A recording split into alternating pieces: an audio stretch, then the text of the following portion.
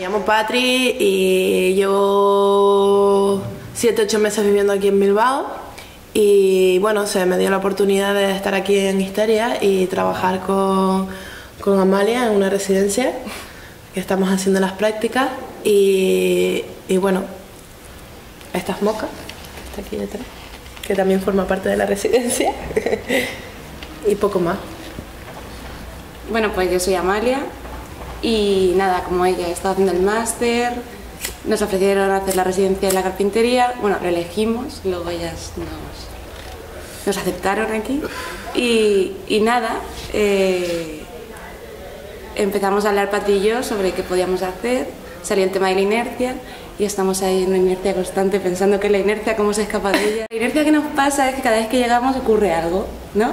Entonces hablamos más de nuestra vida y del mundo, de las inercias del mundo, que, que de nuestro proyecto.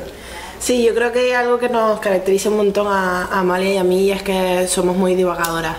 Nos encanta reflexionar sobre el mundo, las relaciones, las emociones también, de cómo nos tocan, ¿no? Sí. Eh, entonces siempre acabamos aquí en el, en el sofá Fumándonos un piti. fumándonos un piti con un té y hablando de, de las inercias, de los problemas en sí, de la cotidianidad, de los hábitos.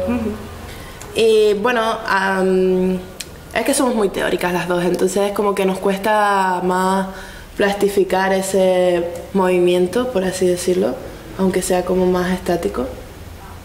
Sí, y es lo que vamos a empezar ahora. Eh, caímos en que podíamos hacerlo de una manera visual para tener un registro.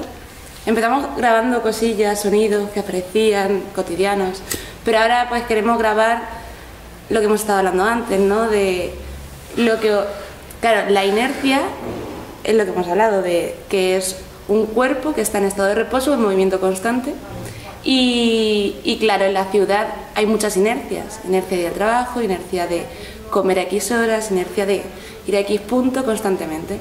Entonces, estamos contenidas en un mundo y aunque estemos en reposo, realmente es relativo. Y ocurre lo mismo cuando vamos del punto A al punto B. Estamos en el metro eh, yendo de un lado a otro, pero realmente estamos en un reposo y creemos que estamos en un estado de reposo. La cosa es que hablábamos de la perspectiva de cómo miras la inercia. Entonces, si tú estás fuera de un coche, ves que ese coche se está moviendo.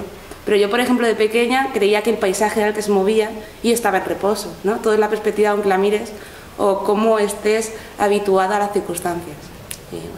La luna nos persigue. la luna nos persigue.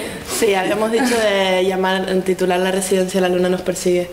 Por eso tenemos en común esa percepción de pequeñas de ir en el coche y que no era el coche lo que se movía, sino era todo el exterior, ¿no? De, ah, mira, la luna nos sigue por el camino.